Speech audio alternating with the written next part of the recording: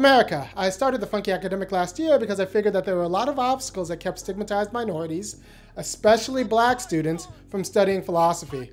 And with the catalog of videos I've put together, I think I've done decent work in starting to redress this infelicity. But I'm a good American, and that means it's time to scale up. Expand the staff and programming, and to do that, I need to run a capital campaign. This is that capital campaign. It'll be composed of two videos. This video targets academics, so I'm going to need you to send this video along on your Facebook feed or Twitter or send it on your department listserv by following the YouTube link. First, let's run some numbers. A recent study shows that 35% of students go to college for career aspirations. That is, they go for the money that they think they're going to get into the future. 25% go for the credential. They like the status of having a college degree because it turns out that we treat people differently depending on the quality of their college degree. Uh, another 23% go for collegiality. It's what their friends are doing and the people they want to be their friends, it's what they're doing. 10% go because they haven't thought to imagine an alternative. And this leaves 5% who go to college to study knowledge for knowledge's sake. I suspect that liberal arts students and professors in general, and philosophy professors in particular, are overrepresented by people in that 5%. I also suspect that the demographic of people with the luxury of chasing knowledge for knowledge's sake are white. And knowledge for knowledge's sake has always sounded like a fetish to me. Whereas I seek knowledge in order to reason towards redressing some sort of political, economic, social, or psychologically induced pain, and I do it through philosophy because I want to reason toward this redress in a reliable way. I pursue philosophy, seeking knowledge and studying the constitutive elements of knowledge, not out of some knowledge fetish, but to help me turn information into wisdom in regard to righting injustices. Now, it's been my experience that teachers from this 5%, the knowledge for knowledge's sake crowd, tend to teach to this 5%, leaving the rest of the 95% of the class alienated from both the teachers and the material taught. Now, this causes problems, not the least of which is that when the 95% get angry and they want their tax money back, or start resenting their loans, liberal arts professors and institutions may find out that the university faculty club is not a defensible position. So I started the Funky Academic because I wanted to make the case for the liberal arts as an education for freedom. And I argue that people who care about freedom should study liberal arts because if they don't, the world as it stands shunts people into reproducing or laboring under conditions of unfreedom. I wanted to teach people about freedom while also teaching them about political power in a way that helps them fashion a world where freedom is at home. So I made these videos, one on justice, one on neoliberalism, one on structural injustice, etc. And it's been a year, and now it's time to scale up, get better equipment, raise production values. I'd like to hire an assistant editor, and I'd also like to attend more professional conferences, for example, APA and also AAR and APSA. I want to be able to do funky recapitulations of the various conferences. Most importantly, I'd like to interview PhD students from stigmatized and marginalized communities and talk to them about their research interests. And just as importantly, I'd like to pay them for their time for sitting down and doing the interview. Apparently, academic departments in the humanities and even the social sciences are serious about including more students from stigmatized populations. And they are markedly horrible about sharing power with students and faculty from stigmatized populations, which is especially unfortunate because American academia has accrued an incredible amount of wealth off of black people. There's this great story about how Georgetown sold 300 slaves in the 19th century in order to stay afloat. It would be worth about 3.3 million in today's dollars. But you have to appreciate how compound interest works.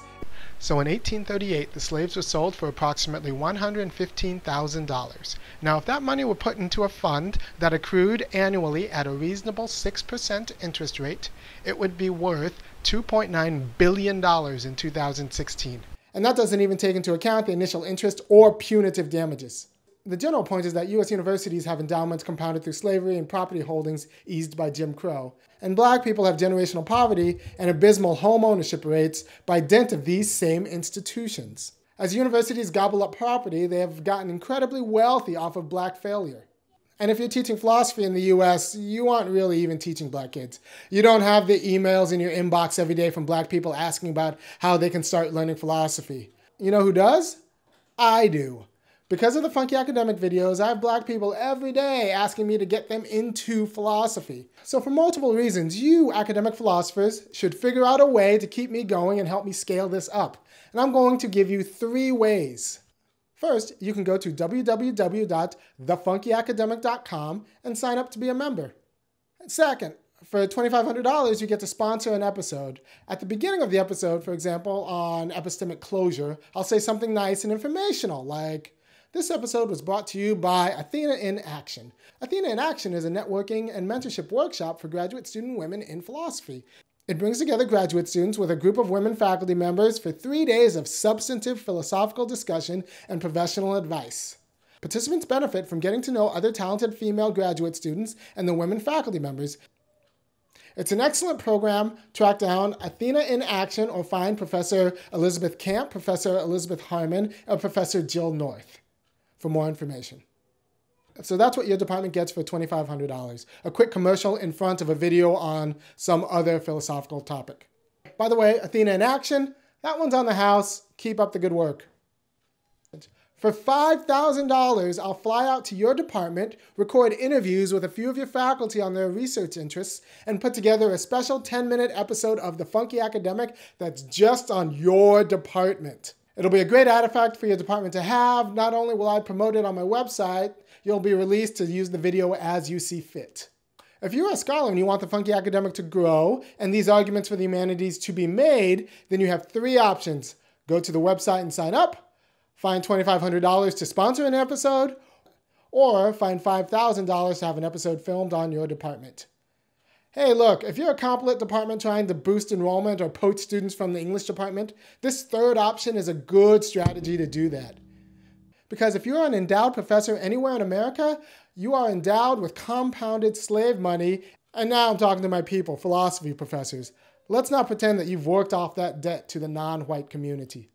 So, academic community, I thank you in advance for organizing with your department, looking at your department's budget, taking the stewardship of your discipline seriously, and redressing some of the material infelicities that have made your department possible in these United States.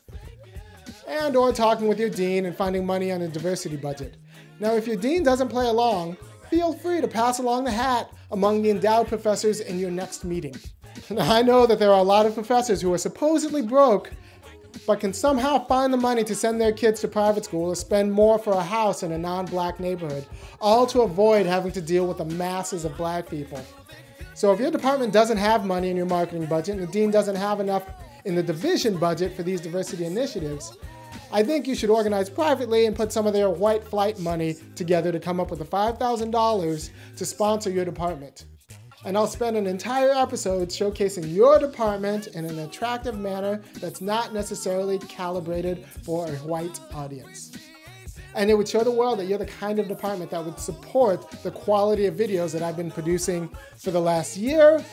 So thank you for finding a way to support these efforts at The Funky Academic in partnering to create the next generation of thinkers and liberal artists.